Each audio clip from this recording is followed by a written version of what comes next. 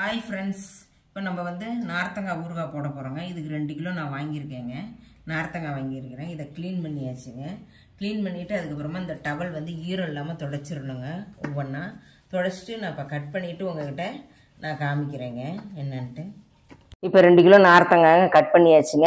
நானூறு கிராம் ரெண்டு கிலோ நார்த்தங்காய்க்கு நானூறு கிராம் உப்பு போட்டிருக்குறோம். இப்போ இதை வந்து உப்பையும் இதையும் மாற்றி மாற்றி போட்டுட்டு ஒரு அஞ்சு ஃபைவ் டேஸ் வந்து நம்ம த்ரீ டைம்ஸ் ஒரு நாளைக்கு குலுக்கி வைக்க போகிறோங்க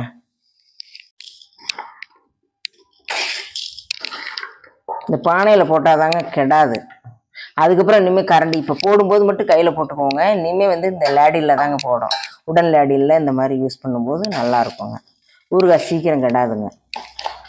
தேவையான பொருள்கள் நார்த்தங்காய் ரெண்டு கிலோ உப்பு நானூறு கிராம் நம்ம போட்டுட்டோம். அடுத்தது ஆயில் வந்து நானூறு மில்லி கடுகு ரெண்டு ஸ்பூனு மிளகாத்தூள் நூறு கிராம் கடுகு வறுத்தது பொடி பண்ணது நாலு ஸ்பூனு வெந்தயம் வறுத்து பொடி பண்ணது நாலு ஸ்பூனு பெருங்காயம் அரை ஸ்பூன் மஞ்சத்தூள் அரை ஸ்பூன். காஞ்சிருச்சுங்க கடுகு போடுறோங்க.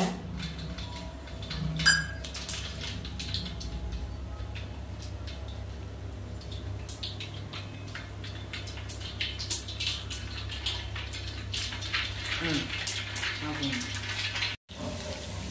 இப்போ நார்த்தங்காய் கொட்டியிருக்கோம் கொட்டி கிண்டி விடுங்க கொஞ்சம் நேரம் கிண்டி விடுங்க.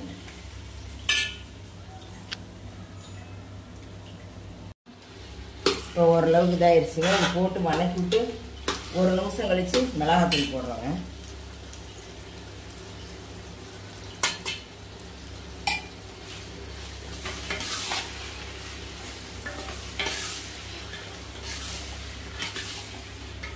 அடுத்தது மஞ்சள் போட்டுக்கிறோங்க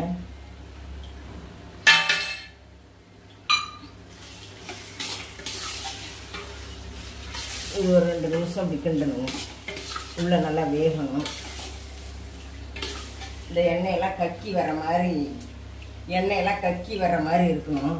அப்போம்போது தான் நம்ம வந்து இந்த பொடியெல்லாம் போட்டுக்கணும். பெருங்காயம்லாம் இறக்க போகையில் போட்டால் தான் நல்லாயிருக்கும். டேஸ்ட்டாக இருக்கும். முன்னாடியே போடக்கூடாது. அதனால் கூட கொஞ்சம் குறையாகவும் வச்சுக்கணுங்க. கொஞ்சம் ஃப்ளேம் ஃபுல்லாகவும் அப்பப்போ மாற்றி வச்சுக்கணுங்க. மாற்றி மாற்றி வச்சுக்கணும். ஒரே இதாகவும் வச்சிடக்கூடாது. அடி பிடிச்சிரும். இது நம்ம பானையில் போடவும் வந்து கொஞ்சம் ட்ரை ஆயிடுச்சுங்க வேறு ஒன்றும் இல்லாட்டி அந்த எசன்ஸ்லாம் லிக்யூடாக இருக்கும். இதுதாங்க பதம். இதுதான் பதம். பார்த்திங்களா எண்ணெய் எல்லாம் கக்கி வருது. இந்த டயத்தில் தான் நம்ம வந்து பெருங்காயம் பெருங்காய பொடி கடுகு பொடி இதெல்லாம் ஃப்ரை பண்ணது வெந்தய பொடியெல்லாம் போடணுங்க. இந்த பெருங்காயம் போடுறேங்க. வெந்தய பொடி கடுகு பொடி. இதுக்கப்புறம் ஒரு அஞ்சு நிமிஷம் வைக்கணுங்க. வச்சிருக்கணும் நல்லா கிண்டி விட்டு. இப்போ இது வரைக்கும் ஒரு பதினஞ்சு நிமிஷம் பதினஞ்சு நிமிஷம் எனக்கு ஆச்சு. இன்னும் ஒரு அஞ்சு நிமிஷம் வச்சுருந்தா இருபது நிமிஷங்க. இதை அடுப்பை ஸ்டார்ட் பண்ணி. இதுதாங்க பதம். ஒரு மாதிரி ஷைனிங்காக இருக்குது பாருங்களேன். எலும்பச்சம் ஊறுகாய் போட்டாலும் சரி மாங்காய் ஊறுகாய் போட்டாலும் சரி பதம் வந்து எப்படி இருக்கும்னா அந்த மாதிரி ஷைனிங் கொடுக்கும் காய் வந்து. தெளிவாக தெரியும். அந்த ஆயில் ஊற்றிருக்கோம்னா அந்த ஆயில் வந்து கக்கன மாதிரி இருக்கும். அதுதான் வந்து பதம் நமக்கு. அதுதான் நமக்கு பதம் அதை எடுத்துக்க நல்லாயிருக்கும் சரி ஓகே ஆஃப் பண்ணிடலாம். ஏன்னா வருஷத்துக்கு வச்சுக்கிறோம். இடையிலலாம் இது இந்த மாதிரி செய்யும்போது பூஞ்சையெல்லாம் எதுவும் வரவே வராதுங்க. வெயிலையும் வைக்க வேண்டாம்.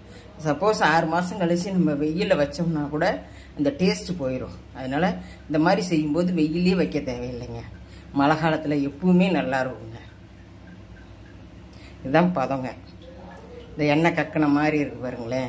ஒரு மாதிரி இந்த காய் வந்து மினுமினுப்பு தெரியுங்க. அதை வச்சே கண்டுபிடிச்சிடலாம். ஓகே இறக்கிடலாம் அப்படின்னு சொல்லிட்டு.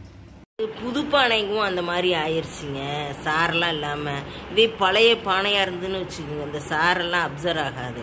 அப்படியே தான் இருக்கும். புது பா வாங்கி ஒன் வீக் தான் ஆகுது.